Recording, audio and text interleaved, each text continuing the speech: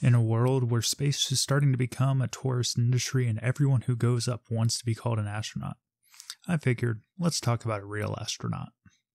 Welcome back to Topic of the Day, and today we're talking about NASA's best boy, John Glenn.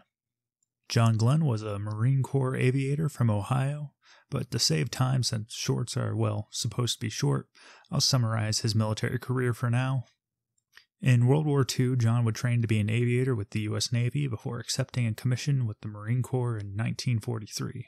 When he became a second lieutenant during World War II, he would prove to be a man of good taste by flying the beautiful F 4U Corsair for a majority of the war. He would fly over 57 combat missions in World War II.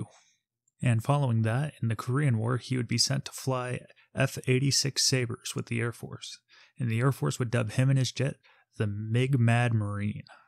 By 1945, John was well known across America and well respected in his field, and would become a test pilot, trying out the latest and greatest commie killing machines America could conjure up. Then NASA gave him a call. The Russians had launched Sputnik 1, and they needed John for the Mercury 7 program. The Mercury 7 mission was America's first attempt on getting astronauts into space by taking nuclear missiles and swapping out their payloads for, well, human beings. NASA loved showing off their seven shiny, brand new astronauts, but none of them as much as John Glenn. He became the face of the American space program.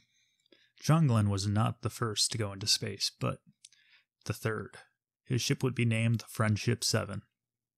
On February 20th, 1962, the Friendship 7 would launch, John Glenn into orbit, making him the first American to orbit the planet. After three orbits, he would return to Earth, making history. His work with NASA would help lay the way for the legendary Apollo program. He would never get a chance to go to the moon, but he would return to space as the captain of the Space Shuttle Discovery in 1998, making him the oldest man in space.